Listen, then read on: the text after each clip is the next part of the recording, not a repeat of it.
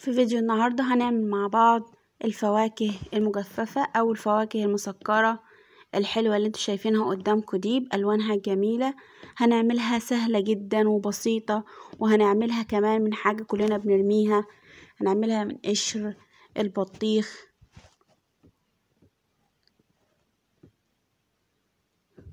ده شكلها أهو أنا وبلون الفواكه دي. طبعا طريقتها سهلة جدا وبسيطة ومش بتاخد وقت كمان. وبتطلع النتيجة حلوة جدا وطريقة ممتازة. هنشوف مع بعض هنعمل إيه. أول حاجة هجيب قشر البطيخ هغسله كويس وهشيل الجزء اللي هو الأحمر ده على قد ما أقدر مخليش فيه آه أي حاجة من البطيخ اللي هو الأحمر ده من فوق. يعني أنا عايزة القشرة اللي هي البيضة دي اللي هي بين القشرة اللي هي بين البطيخ اللي هي الأحمر وبين القشرة الخضراء. أنا عايزة الجزء الأبيض اللي في النص. أحاول كده أخرج القشر اللي هو الأخضر اللي بره ده أحاول كده أقشرها بس أقشرها كده رفيعة علشان ما ما تبقاش سميكة قوي وتاخد القشرة البيضة معاها. اهو القشر الأخضر ده أنا مش عايزاه طبعا مش هحتاجه ولا الأحمر اللي جوه. أنا عايزة القشرة اللي بيضة دي اللي هي في النص دي. هنشوف مع بعض أنا هعمل إيه بالظبط. وهقول لكم كمان على المقادير بتاعة السكر بتاعته اللي هتخليه يبقى مظبوط وما يبقاش مسكر مننا. أنا جربت الطريقة دي وطلعت بالظبط زي الفواكه المجففة اللي بنشتريها من بره اللي بتبقى عند مستلزمات الحلويات. طبعا ناس كتير عارفاها وناس كتير بتشتريها وبتبقى غالية جدا و... ودي الطريقة دي سهلة جدا وموفرة جدا والقشر ده أصلا كلنا بنرميه. هجيب القشر اللي أنا قطعته ده الجزء الأبيض ده هقطعه كده زي الصوابع كده زي البطاطس وبعد كده هبتدي أقطعه مكعبات صغيرة جدا. أهو الحجم اللي أنتوا شايفينه ده مش صغيرة قوي ولا كبيرة بالحجم اللي أنتوا شايفينه قدامكم ده. وبعد كده هغسلها كويس وبعد ما أغسل قشر البطيخ ده بعد ما قطعته كده بعد ما هغسله هجيب مية وأحطه الأول في حلة وهجيب مية هغطي بس كده البطيخ. يعني هغطي كده بس إيه لحد ما يوصل كده لنهاية قشر البطيخ ده. بعد كده هرفعه على النار لحد ما المية بتاعته توصل للنص. يعني بياخد حوالي نص ساعة على النار لحد ما توصل للنص. لما نيجي نضغط كده على الواحدة نحس إنها بت بتت بتت بتتكسر معانا بس بتبقى مش مهرية يعني بتبقى مستوية نص سوا. في المرحلة دي هحط السكر. أنا عايرت هنا السكر نعاير قبل ما قبل ما نحطهم على النار خالص نعاير السكر نعاير قشر البطيخ نشوفه كام كوباية. كل تلات كوبايات من قشر بطيخ عليهم كوباية سكر.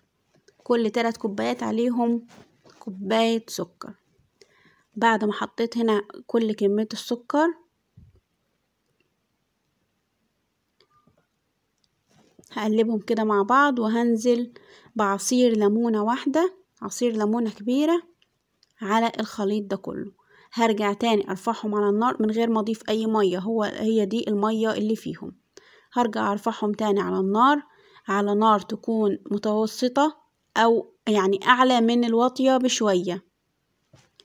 هرفعهم على النار دي لحد ما يبقوا بالشكل اللي أنتوا شايفينه ده يبقى لونهم كده شفاف زي ما أنتوا شايفين. وشربت المية اللي فيها كلها. يعني بعد ما تشرب المية كل المية اللي فيها والسكر ما يبقاش في أي مية في الحلة هنلاقي شكل القشر بطيخ بقى بالمنظر ده. معايا هنا طبعا ألوان دي ألوان طعام صحية. ولو مش حابين تحطوا ألوان خالص هو لونه على كده بيبقى لونه برضو حلو. أنا هحط هنا قسمتهم طبعا آه كميات قد بعض. هحط هنا في طبق لون أخضر وطبق تاني أحمر وطبق لون أصفر وفي كمية هسيبها على كده من غير أي ألوان. ما تكتروش من من اللون يعني. ذرة صغيرة كده على طرف المعلقة من كل لون علشان اللون ما يغمقش معانا ويبقى لونه غامق قوي افضل أقلب كده في كل كمية باللون بتاعها لحد ما أتأكد إن كل اللون دخل في في الفواكه دي.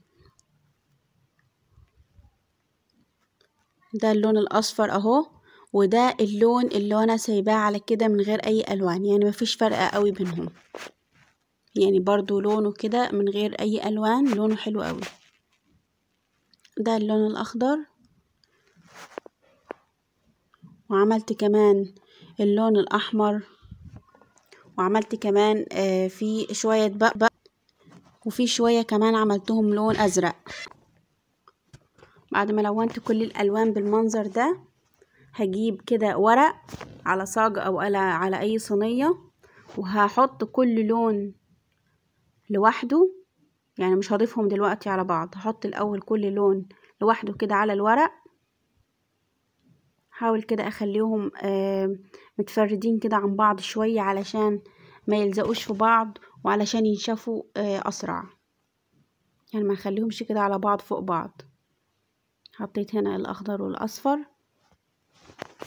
وأجيب صينية تانية وأحط كمان اللونين الباقيين.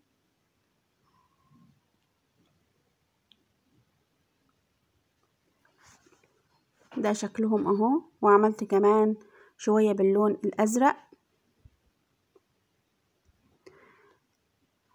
ده شكلهم أهو.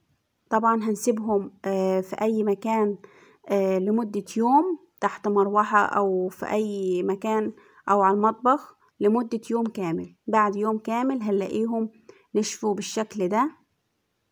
ما نشفوش بقيوا آه بقيوا ناشفين قوي لأ بقيوا زي الفواكه المجففة اللي بتشوفوها بره بالظبط يعني طرية وفي نفس الوقت لما بنيجي نحط نمسكها كده ما بتلزقش في الإيد. طبعا أنا غيرت الورقة دي قبل كده. يعني أنا غيرت الورقة اللي كانت تحتهم مرة علشان الورقة دي هي اللي بتشرب المية والسكر اللي فيهم وبتخليهم بالشكل اللي أنتوا شايفينه ده. بس كده وحابين تخلوهم على بعض خلطتهم على بعض كده مفيش مشكلة. وحابين تخلوا كل لون لوحده برضو مفيش مشكلة. بس كده طريقتها سهلة جدا وجربوها إن شاء الله تعجبكم وجميلة قوي. في تزيين أي حاجة عايزينها.